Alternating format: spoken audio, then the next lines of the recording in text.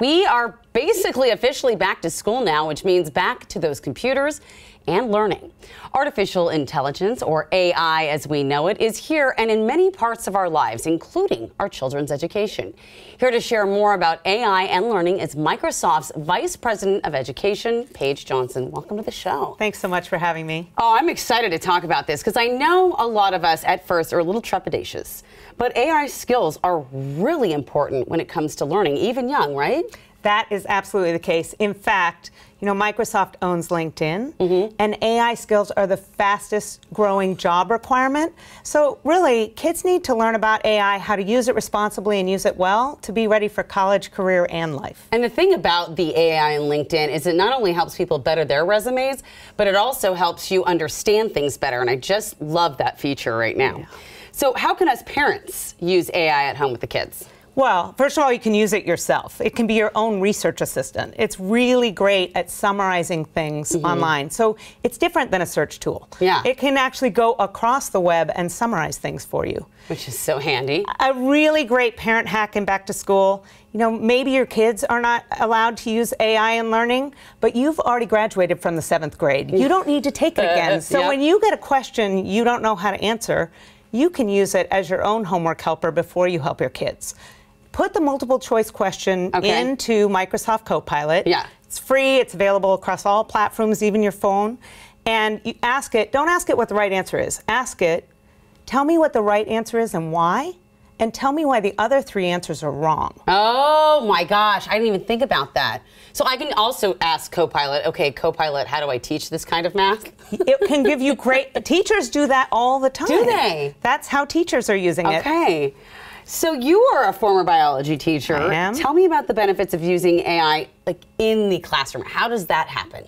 Well, there are several benefits. When you talk about it from a teacher perspective, it's often about saving time. Mm-hmm. And you know from your own kids' experiences, your teachers are not sitting uh, sitting around wondering what to do with all their spare yeah, time. Yeah, no. It helps them personalize learning. It can help them with lesson plans. They can use it to create different writing passages at different reading levels. Mm-hmm. So if you have a slow reader, mm-hmm. you can actually ask the the uh, AI like a Microsoft Copilot to rewrite it on an easier grade level it automatically does that. Oh it's my amazing. Gosh. Where was it when I was in college? exactly. No, no, cheating. I'm just saying. Not so cheating, helpful. supporting learning. Yes. And then for students, there are a lot of purpose-built tools yes. that they're using. So we have a great product called Re- mm-hmm. Reading Coach. Reading Coach. Reading Coach. And it is a free tool. Again, mm-hmm. you can get across any platform. And what it does, it uses generative AI to help your child or the child in your classroom. Mm-hmm create a story that they're interested in based on topics that they're interested in. Yeah. Then they read it out loud and it gives them immediate feedback. So, you know, when you're supposed to be monitoring read out loud time at home yeah. and your your student isn't really appreciative of the feedback that happens to teachers too. Yeah. This allows them to practice in a safe place. They can read it to their dog. They get immediate feedback and they're reading things that they're interested in. So, okay, AI is something that is ever changing. I mean, we're talking heads of companies don't really know how to handle this right now. So, how do I talk to my kids about this? This is a very fast emerging topic. Yeah. And one of the exciting things that we just launched today is some new videos and a new Minecraft education world oh, that helps oh, teach yes. you about, about responsible use of AI, what AI is, mm-hmm. how it can help you. But let me give you three tips for parents to talk about okay. AI that are really, really important. The first one, like any online tool, you shouldn't share your personal information. Right. The second one is you should not use AI to create inappropriate content. That's okay. just going to get you in trouble. Yep. And the third one is AI is not a friend. It's a technology. It's a technology. Okay. That is so good. Those are great tips. I'm going to write those. tips. write them on your hand. Um, any other advice for families as we kick off the school year? You know, the big one for parents is really just to use it. Mm-hmm. Use it yourself because the more you use tools like Microsoft Copilot, mm-hmm. the more you're going to know and be able to guide. Yep. And the other thing is talk to your teachers and school administrators about what their policies are. Okay. As you said, this technology is coming out really fast.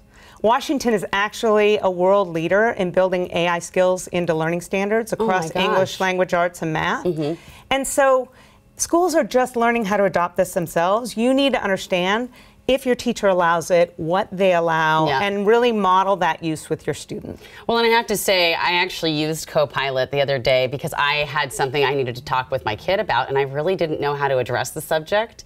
And I asked, and I got great advice. That is a great tip. It was I'm so true. that. Honestly, it was really great because it was like a sensitive issue, and I and it was it was just great advice because Copilot did all the work for me, right. scouring the internet, and I didn't have to, and it really actually really helped my situation. So thanks to y'all at Oh, Microsoft. that's great. I appreciate you. So glad to hear it. All right, and of course, Microsoft has lots of help for parents online in their family safety toolkit.